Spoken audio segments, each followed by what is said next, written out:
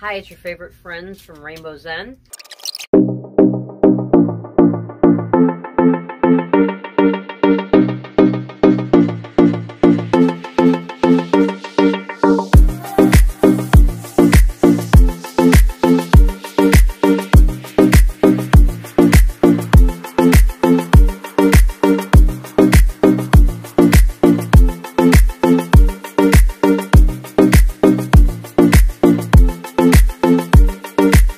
Coming along.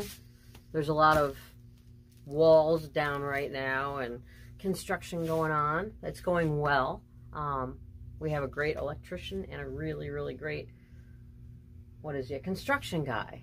And hopefully everything will be done by October 1st. We're working on it.